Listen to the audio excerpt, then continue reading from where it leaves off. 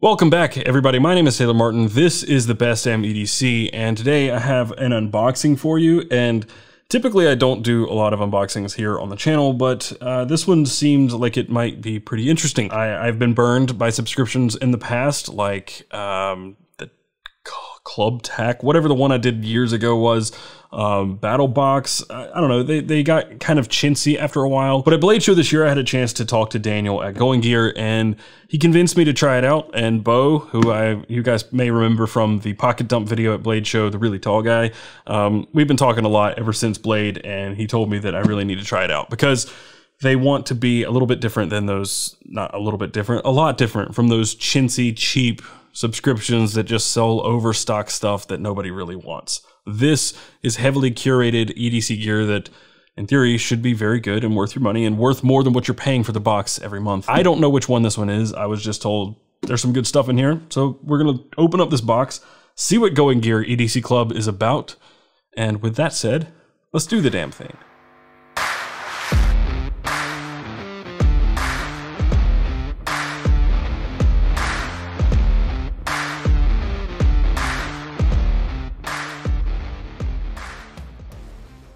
Okay, so no beating around the bush. Let's just open up the box. Uh, like I said, I don't know if this is just the regular EDC Club or the premium. It feels heavy, uh, but that really could be either one, honestly. So let's just see what's inside and we'll go from there. I'm sure there's a, a card inside that will tell us. Regardless, either subscription that you get, you should be getting more value than what you're paying for it every single month. So the $60 box, it'll have at least two items in it and uh, that should be worth more than $60. Otherwise, why are you paying for it? And then the 200 one will be everything that's in the EDC Club plus one premium item. I think it's one premium item that is worth um, worth more than what you've paid in total. So this is the Premium Club. There we go. So we have uh, best way to keep, it says the best way to keep your everyday carry up to date, Acebeam E70 titanium flashlight, Trayvax wallet, Swiss Army knife, and a Lander mini lantern. So let's see what this is all about. I was actually just talking about these Trayvax wallets just the other day, actually yesterday with you. Um, let's get all of this out of the box and then we can talk about it individually. That is a hefty flashlight, a very hefty flashlight. And a Swiss Army knife with a little sticker and some packing peanuts. We don't need that. We'll keep this paper off to the side. So this would be a $200 box. And what we're seeing here on this paper is this AceBeam flashlight is already worth over $200. Um, the Trayvax wallet, I know they're in the $30 range. This says $35. They go and sell a lot. This is a serrated Spartan. So Spartans are around $30 usually. And then the Cairn Mini Lantern. thing seems pretty cool. A lantern with a bungee cord.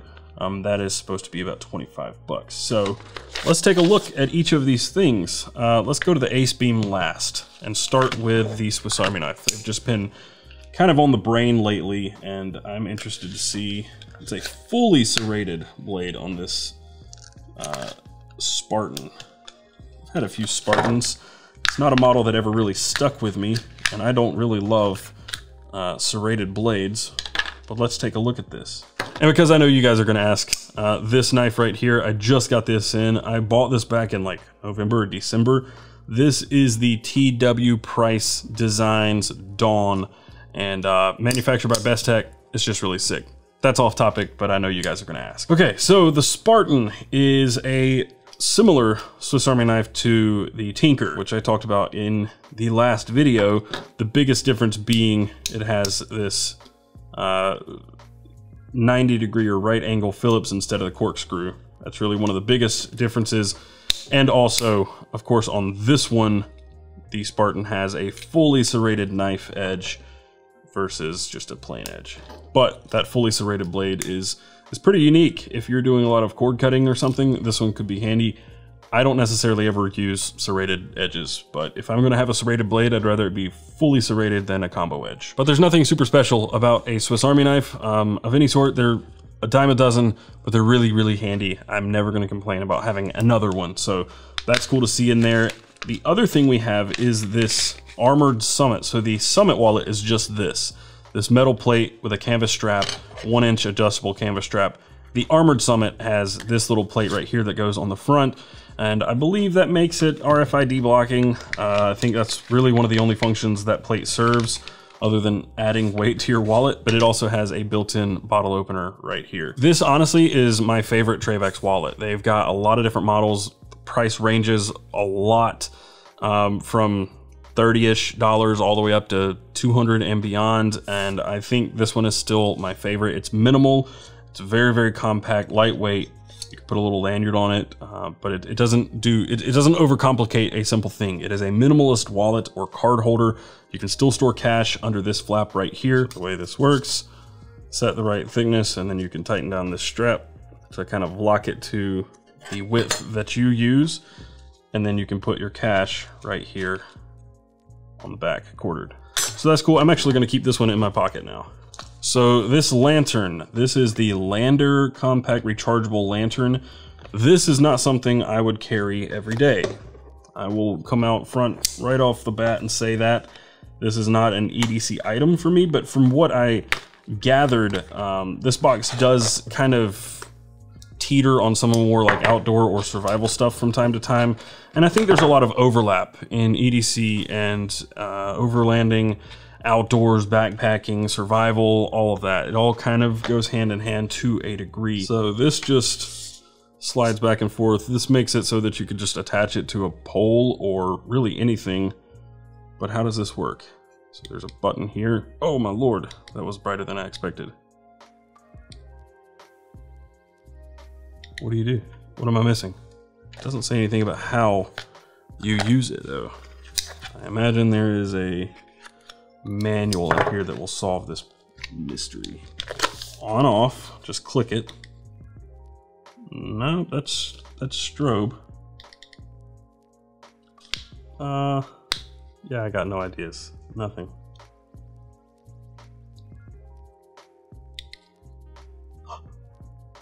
What did I do?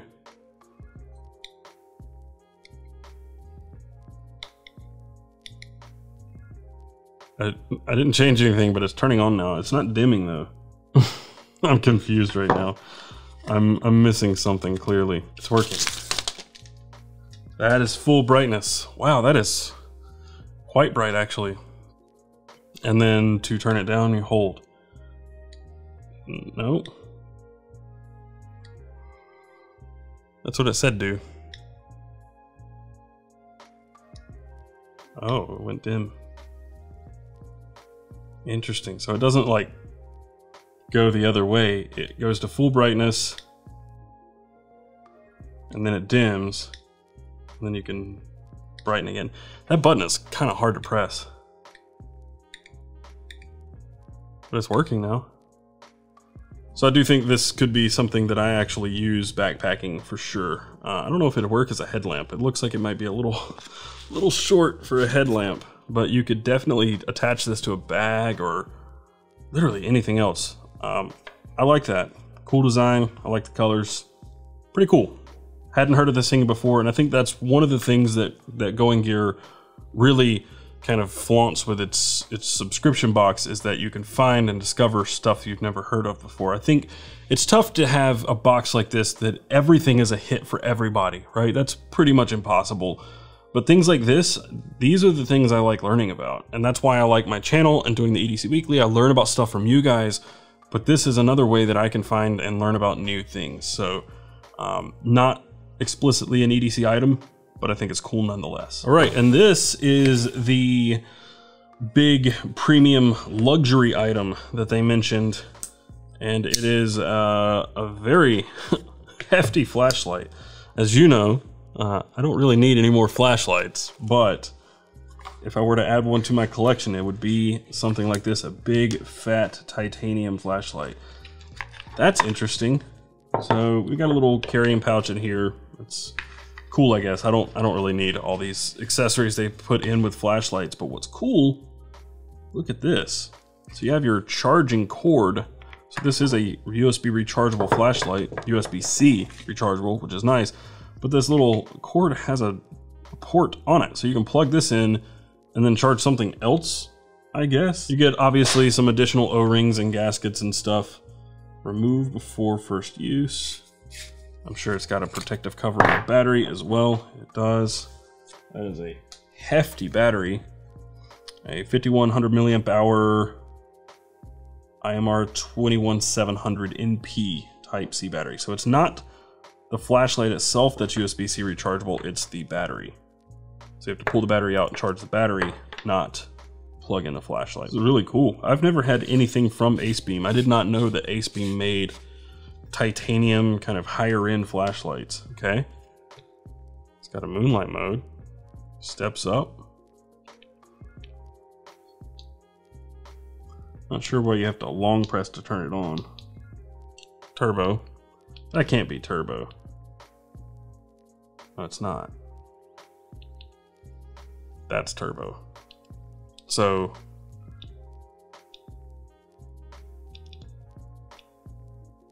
interesting. All these different UIs are hard to keep up with, if I'm going to be honest. Nail down this UI real fast. That is some very tiny font. Okay, on is double click. Okay. Once it's on, you can double click to get to turbo. That is very bright. Okay, that's that's not so bad. Double click to turn on. And it has memory, so it will turn back on at whatever mode you had. So this is the low mode, not moonlight, but this is the low mode. So we can turn off and it comes right back onto that same. But moonlight, press and hold. That is a very dim moonlight. Can you even see that? Very dim and then you can double click to get to turbo. It's quite, quite bright. You can feel the heat off that. Very, very cool flashlight. Don't get me wrong. Again, I don't know that this is EDC because this is enormous. Uh, this is the flashlight that I carry every day. This thing is literally twice the size of the uh, Okluma DC0 uh, it may be even be three times the size. This thing is enormous. So my takeaway from this is, uh, if you were going with this regular box, you're not getting this $200 flashlight. You're getting these three items right here for $60, which the Trayvax wallet is about $35 according to this paper. The Spartan is $30 and then this Lander headlamp or lantern is $25. So that alone, you have $55, $85, $90 worth of stuff right here. And then if you're getting this more expensive box, you throw this in, you're paying $200 for about $300 worth of stuff.